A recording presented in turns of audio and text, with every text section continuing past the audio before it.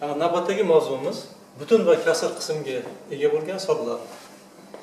Dastlab bunday sonlarning ustida qo'shish va ayirish amallarini ko'rib chiqamiz. Bunday sonlarni misol uchun uch butun 2 dan 1 butun qismga ham ega, kasr qismga ham ega. Bunday sonlar bilan amallar bajarayotganda biz bunday sonlarni doim oddiy kasrga keltirib yozishimiz mumkin. Masalan, uch butun ikkidan birni 2 ko'paytiruv 3 6 qo'shib 1 7 7 taqsim 2 deb yozishimiz mumkin. Ya'ni 2 ko'paytiruv 3 qo'shuv 1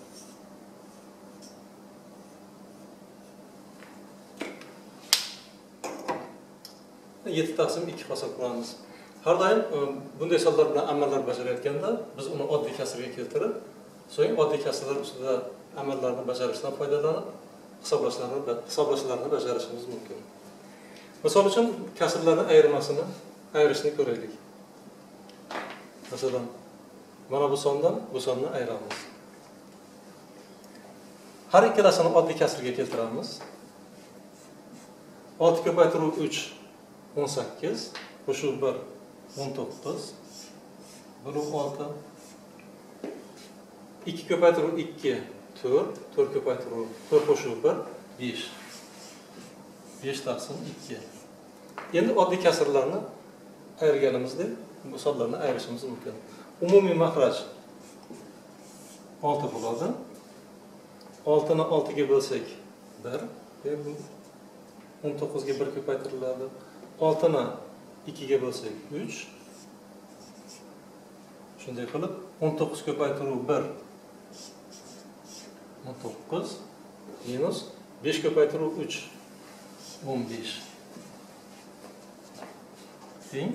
19 ayruv 15 4 ga teng. Maxraj 6 ga teng. Kasrlarni qisqartirib qo'yishimiz mumkin.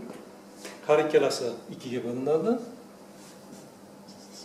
to'rtni ikkiga bo'lsak ikki oltini ikkiga bo'lsak uch. Shunday qilib bu sonlarning ayirmasi ikki taqsim uchga teng ekan. Shu yerda biz ikkinchi xil usulni ham ko'rib chiqamiz. Bu yerda biz butun qismlarni alohida kasr qismlarini alohida gruppalab olishimiz mumkin. Bu ifodani biz 2007 minus ikki ming 2005 qo'shib 1 taqsim 6 minus 1 taqsim 2 deb yozishimiz mumkin 2007 minus 2005 2 ga teng 6 va 2 ga umumiy maxraj topamiz umumiy maxraj 6 bo'ladi 6 bo'lib 6 1 ga teng 6 bo'lib 2 3-ке тең. Шындай қылып 1 көп айтыру 1, 1, минус 1 көп айтыру 3. 3-ке тең. Бен 2-ке. Бірден 3-ін әресек. Минус 2-ке. Бен минус орта келесіңіз. 2 тақсын 6. Бұрарын қысқа мүмкін. 1 тақсын 3 болады.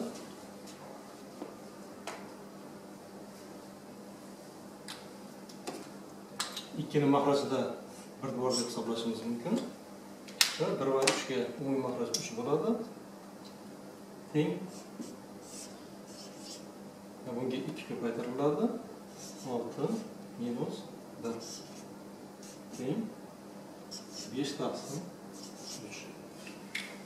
Shunday qilib bu ifodani qiymati besh taqsim uchga teng bo'ldi.